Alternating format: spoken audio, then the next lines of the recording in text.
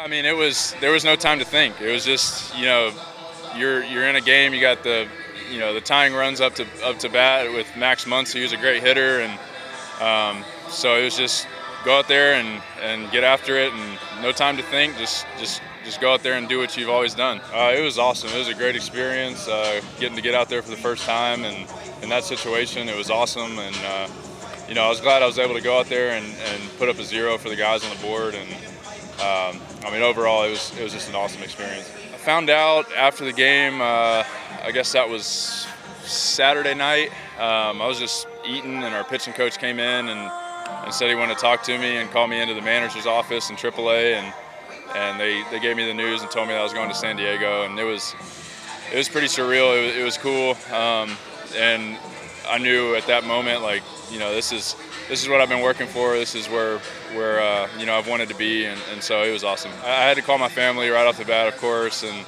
um, I mean, that was an emotional conversation, just considering what all we've been through with the injuries and and everything, and and so it was really awesome getting to call them and, and talk to them about, you know, a, a, culmination of just years of hard work and, and sacrifice, and it was all coming together. So it was awesome.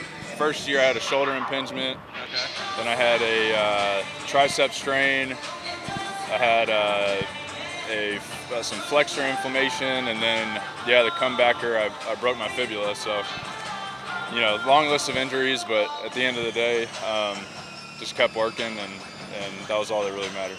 Just all the injuries and just you know not not living up to, to my standard or, or the standard that, that they've set for me. I mean it it was it was frustrating to say the least, and and so getting to go back home and, and reset and not knowing when you're going to come back or what the process is going to be, it was it was nice to, to spend time with my family. I mean, first summer I got to spend with them in in years, so that was nice. But uh, yeah, I mean, just coming back, it was it was all focused and ready. I'm going to give it give it my all, and and uh, at the end of the day, I don't want to have any regrets.